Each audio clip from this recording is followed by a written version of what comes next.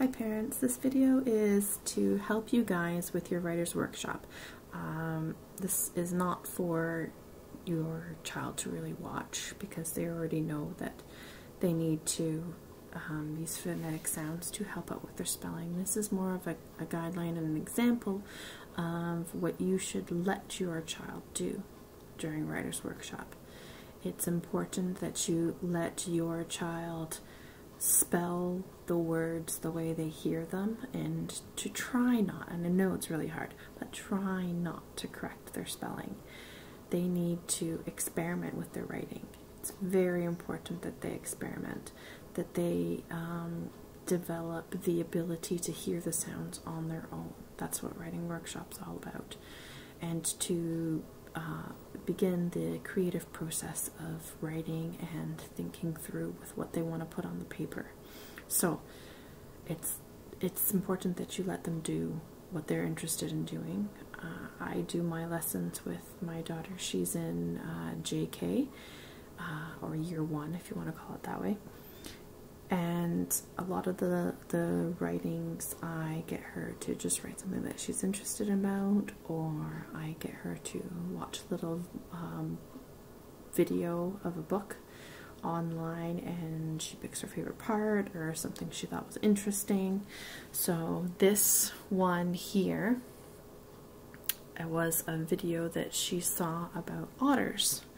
And she drew a picture um, an undersea picture. So here she drew some kelp, okay, uh, and then she has the mother otter, and then here you can see the circle of the baby otter, and then she drew the water all around. Okay, so what uh, Mr. Westmont uh, demonstrates in his videos is labeling. So we still want you guys to do some labels. Uh, I got Abigail to not just write the initial sound of her of her words in her pictures, but I'm trying to get her to get the beginning and the end, and maybe even some of the sounds in the middle if she can hear them. So here for kelp, okay, you can see if you can see it, it's KP. So she got the K she didn't get the L, but she got the P, kelp. So she did KP for kelp. And then over here, she has uh, mother otter. So she has the M for mother, and then she did otter, ot, er. So she heard the O, the T, and the R. Okay, don't correct, just let them do it the way they got. She heard a lot of the consonant sounds. Consonant sounds are easier than the vowel sounds because there's two different sounds for the vowels, so it's a little bit trickier for vowels. Then she did baby otter here. She got the B and then the OTR, so she copied her otter from there, and I told her to just write it the same way as she wrote it before. Okay, and then over here she wrote waves, W A V S. And then down here, she uh, wrote water. So that's what she heard for water. The E is not a sound that you hear. So that's completely understandable that she would spell water that way. Down here, she wrote her her sentence. Try and focus, uh, especially if they're year ones at JK. Uh -huh. Get them to do the beginning sound and end sound of the words focus on having a space between their words because often they jumble them together and that's what she did here. Uh, she jumbled a lot of it together. Do not erase their work. Okay, let them do it. Just do reminders. Say, oh, you forgot to do your spaces. Let's do the space next time. Okay, so down here, she did her uh, her spaces better down there because I reminded her to do her spaces. Okay, we do not use erasers in our in my class. I don't know if Mr. West uses erasers, uh, but I want them to focus on the process. If they make a mistake, don't spend time erasing it and correct. Just scribble it out. If they understand that they made a mistake, don't point out that they made a mistake. Okay, um, just if they hear a different sound and they change their mind or they don't like the way they printed the letter, just cross it out. Okay, so here is uh, Mother Otter. So we have the ma otter, mother otter, the same way that she wrote it up here. I had her copy it down.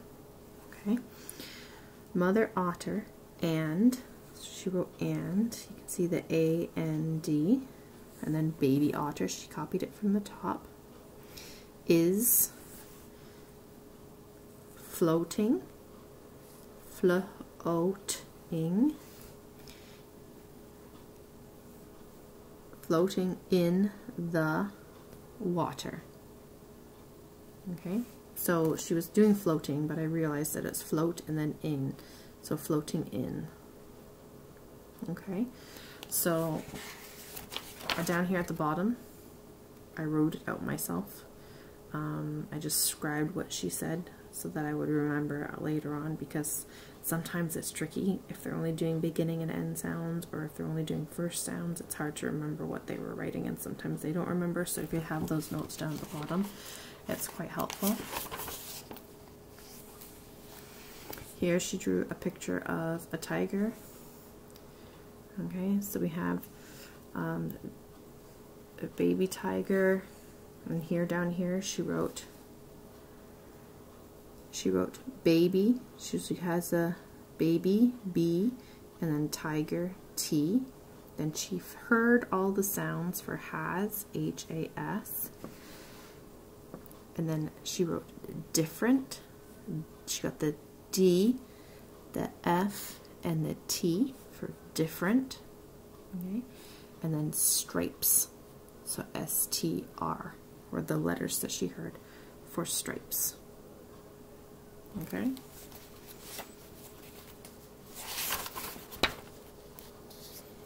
And the last one here, she did about rabbits.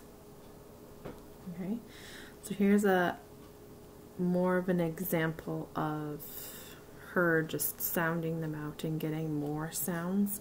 So what I have I have her do is I have an alphabet chart and I'll post an alphabet chart. You can have it on the screen and have it in front of her on an iPad or the computer and they can look at it or have a printout. Um, one of the activities last week I assigned was making an alphabet chart. So if you made that, you can have that beside them. And if they don't know the sound, point to the picture, or not point, say the picture, like if she was having a hard time sounding out rabbit, okay? I would say r-ab-t, rabbit. And I would say it slowly for her, and I would get her to say it slowly with me. So she can make the sounds with her own mouth and hear the sounds as well. If she didn't know what R was after we sounded it out, and I said r a few times, I would look at what she has on her alphabet chart or what was on the uh, alphabet chart that I have that I send you guys. And let's say the picture is rainbow, so I would say find rainbow, and she would look for the rainbow and realize that that's in the box for R. So then she would copy and print the R. Do not tell them that it is an R. Try and get them to search for it in the alphabet chart and to use their phonetic knowledge to help find it. Okay, so here you can see rabbit. Okay, so she got the r a b have, and then she wrote L. She wrote this later in pen, so I don't know what that has to do with it. But she has the L for long, and then she has E R S here for ears. Hop. This is a new sentence. She wanted to write that they hop and poop, hop and poop um, she found it really interesting that they could poop while they're hopping. And then rabbits, so she copied the same way she wrote rabbits up there, she wrote it down here. Eat, E-T, plants. She got all the sounds except for the, uh, the T at the end. Okay, um, so please, I encourage you to do Writer's Workshop at least once a week. Uh, Mr. West is going to start focusing on getting um, their own ideas for their writing. If they don't have an idea for their writing, um, use books as inspiration, use um, everyday activities that you guys did as a family, and just try and make it as fun as possible. The more corrections you make, the more telling them that they're they're getting the wrong sound down on the paper, um, will lead to being discouraged to write, and we don't want that to happen. Okay. Um, so just get them to focus on the initial sounds. They're going to be missing some sounds and some words, especially when they're longer, and that's okay. All right. Um, so we just wanted to provide you with some uh, real life samples um, of what Writer's Workshop could look like. All right, so have fun working with your child and uh, let them be free to write. Thank you. Bye.